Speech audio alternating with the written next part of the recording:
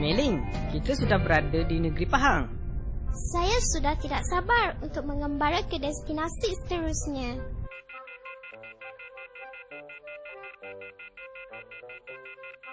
Destinasi seterusnya Taman Negara Pahang. Saya akan tetapkan destinasi kita pada peralatan GPS ini. Wah, nyamannya suasana di Taman Negara ini. Tetapi, ke manakah destinasi kita di Taman Negara ini? Jangan risau, Meling. Saya telah tetapkan aktiviti kita di Taman Negara pada peralatan GPS ini. Destinasi seterusnya ke jeti Sungai Tahan. Adakah kita akan merentasi Sungai Tahan? Ya, betul tu Meling. GPS, bagaimana perjalanan ke jeti Sungai Tahan?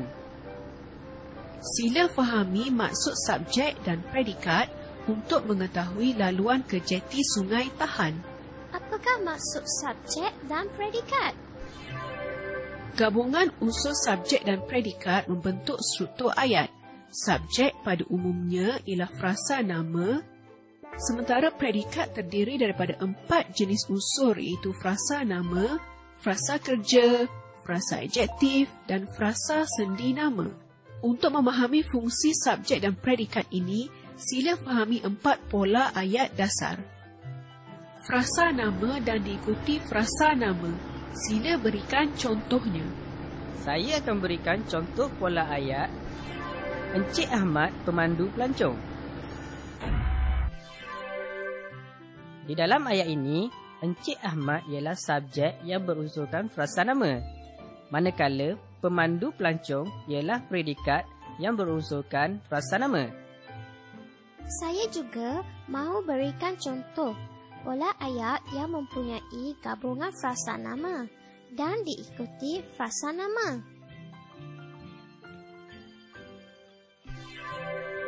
Zali ketua rombongan. Di dalam ayat ini, Zali ialah subjek berunsurkan frasa nama, manakala ketua rombongan ialah predikat yang berunsurkan frasa nama. Syabas, semua contoh yang diberikan adalah betul. Sila menuju ke barat Taman Negara sejauh 2 km untuk sampai ke jeti Kuala Tahan. Tiba ke destinasi yang dituju tiba ke destinasi yang dituju. Seronoknya! Sungai Tahan merupakan sungai terpanjang di negeri Pahang dan yang terpanjang di semenanjung Malaysia. Apakah aktiviti yang boleh dilakukan oleh pengunjung di sepanjang sungai ini? Di sepanjang sungai ini, pengunjung boleh melakukan aktiviti memancing, berkelah dan melakukan aktiviti perahu lasak. Destinasi seterusnya Gua Telinga. Bagaimanakah petunjuk untuk ke Gua Telinga? Untuk petunjuk ke Gua Telinga, sila berikan contoh subjek dan predikat bentuk pola ayat yang lain pula. Baiklah, saya akan berikan contoh ayat dasar yang mempunyai frasa nama dan diikuti dengan frasa kerja. Pengunjung-pengunjung sedang mendaki. Di dalam ayat ini, pengunjung-pengunjung ialah subjek berunsurkan frasa nama manakala sedang mendaki ialah predikat yang berunsurkan frasa kerja. Saya pula akan berikan contoh ayat dasar. Burung-burung bercebangan. Di dalam ayat ini, burung-burung ialah subjek berunsurkan frasa nama. Manakala bercebangan ialah predikat yang berunsurkan frasa kerja. Seterusnya, berikan contoh ayat dasar yang polanya mempunyai gabungan frasa nama diikuti dengan frasa adjektif. Saya akan berikan contoh ayat dasar yang polanya mempunyai gabungan frasa nama diikuti dengan frasa adjektif. Pokok-pokok di sini segar. Di dalam ayat ini, Pokok-pokok di sini ialah subjek berunsurkan frasa nama. Manakala segar ialah predikat yang berunsurkan frasa adjektif. Saya pula berikan contoh ayat dasar.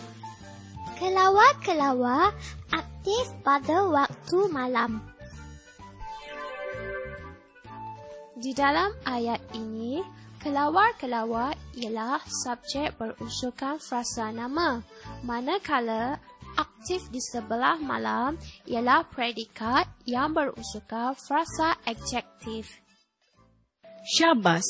Contoh yang diberikan adalah betul dan tepat. Untuk ke Gua Telinga, sila berjalan sejauh 2.6 km ke sebelah barat. Terima kasih GPS. Mari Meling, kita ke Gua Telinga. Mari! Tiba ke destinasi yang dituju.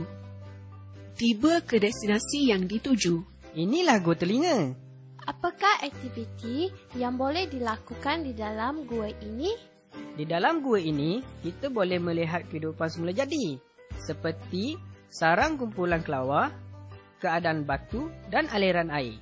Wah, tentu menarik. Mari kita masuk.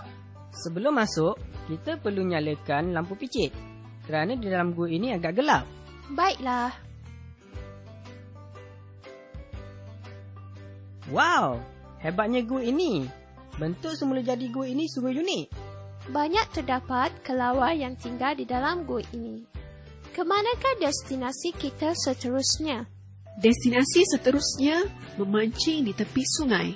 Wah, menarik aktiviti ini. Di manakah kawasan yang sesuai untuk memancing dan banyak terdapat ikan di situ? Sila berikan contoh subjek dan predikat bentuk pola ayat yang mengandungi frasa nama diikuti frasa sendi nama. Saya akan berikan contoh ayat dasar yang polanya mempunyai gabungan frasa nama dan diikuti dengan frasa sendi nama. Sungai ini untuk kegunaan semua. Di dalam ayat ini, sungai ini ialah subjek berunsurkan frasa nama, manakala untuk kegunaan semua ialah predikat yang berunsurkan frasa sendi nama. Saya pula berikan contoh ayat dasar. Kampung saya di Negeri Pahang.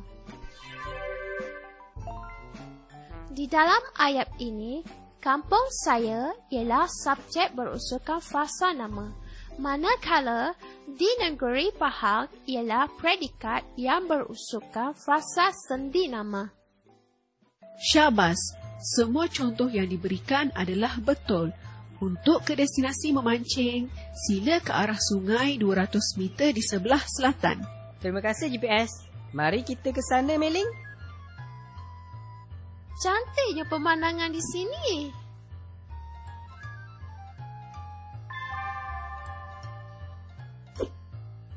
Tengok ni, saya dapat ikan. Cepat, naikkan ikan ini ke tebing. Tahniah, anda sudah berjaya dan memahami penjelajahan bahasa untuk kali ini. GPS, boleh ulangi apa yang dipelajari di sepanjang pengembaraan ini? Gabungan unsur subjek dan predikat membentuk struktur ayat. Subjek pada umumnya ialah frasa nama, sementara predikat terdiri daripada empat jenis unsur iaitu frasa nama, frasa kerja, frasa adjektif dan frasa sendi nama. Untuk memahami fungsi subjek dan predikat ini, sila fahami empat pola ayat dasar. Wah, sekarang saya sudah jelas dan faham maksud subjek dan predikat. Terima kasih, GPS. GPS. Jumpa lagi.